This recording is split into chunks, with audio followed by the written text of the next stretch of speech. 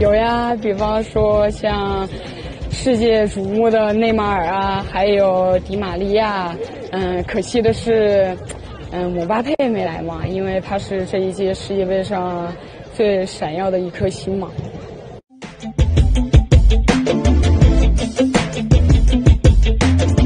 嗯，去巴黎，提前去巴黎，能够适应那边的。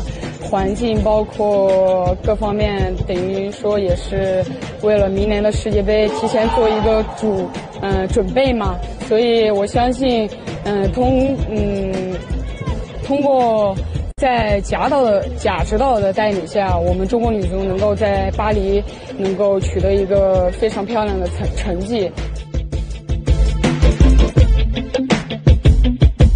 一步是能够尽快的去适应俱乐部的环境，包括球员，包括主教练的技战术打法，所以这些都是我需要去嗯好好准备，也需要去克服的一个难题。所以我也不会给自己太大的压力，说特别漂亮的话去能够过去就是主力，因为嗯作为亚洲球员的我来说，我觉得自己能够去做那种豪门。